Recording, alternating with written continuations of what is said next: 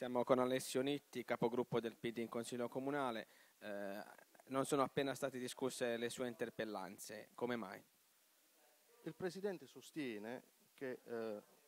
il regolamento prevede che vanno depositate, presentate cinque giorni prima della data stabilita per il Consiglio Comunale. Il Consiglio Comunale è stato convocato per venerdì e i cinque giorni scadevano domenica. Secondo il Presidente i termini bisogna conteggiarli a ritroso e quindi poiché nemmeno il sabato ci sono impiegati comunali eh, per poter ricevere l'interpellanza, il termine andava eh, a scadere sette giorni prima. Noi li abbiamo presentati il lunedì perché sebbene diciamo, ci può essere un'interpretazione secondo cui i termini vanno calcolati a ritroso, in realtà nella politica, in un contesto come quello del Consiglio Comunale, in cui bisogna soprattutto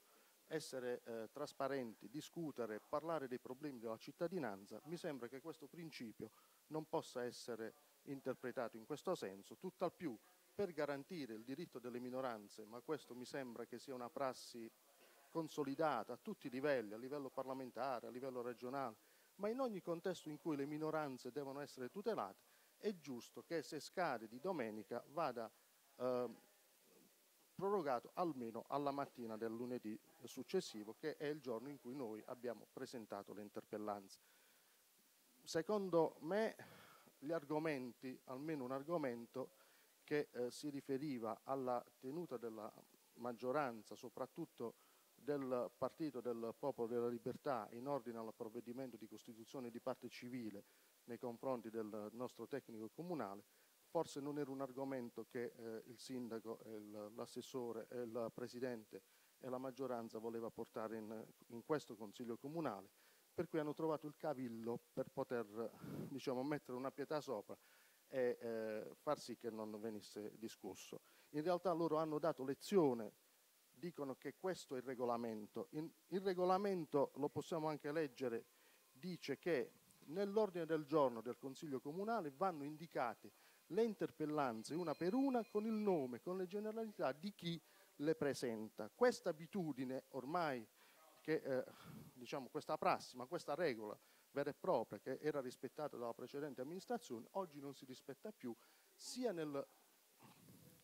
nel provvedimento di convocazione del Consiglio Comunale, sia nei manifesti che vengono affissi, si parla genericamente di interpellanze e comunicazioni, senza più indicare le generalità è